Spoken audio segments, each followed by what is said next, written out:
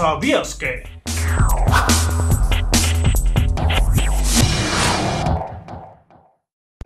Hola amigos y estamos de vuelta en tu sección ¿Sabías que? Hoy dedicada al maestro de las telenovelas, el cine y el teatro, José Ignacio Cabrujas. Hoy vamos a hablar de su desarrollo en las telenovelas y es que se inició en el año 1976. A partir de este año comenzó a escribir telenovelas, lo cual hizo aproximadamente 20 años. La primera fue La Señora de Cárdenas, un éxito en la televisión venezolana donde en su capítulo final los periódicos reseñaron La ciudad se detuvo para ver cómo culminaba esta historia.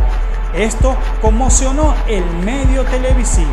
Seguida, eh, realizó Silvia Rivas divorciada en 1977. José Ignacio Cabruja fue el precursor de lo que se conoció como la telenovela de divorcio, temática que introdujo de forma recurrente en sus nuevas producciones dramáticas, en la que podemos contar Natalia de 8 a 9 y Chao Cristina. ¿Qué decía José Ignacio Cabrujas sobre las telenovelas? Su pensamiento era algo así. La telenovela es un gran chisme del principio al final. Yo soy Winder Rivero. Esto es ¿Sabías que? Una serie dedicada al maestro del cine, la televisión, las telenovelas, el teatro, José Ignacio Cabruja. Nos vemos en la próxima entrega.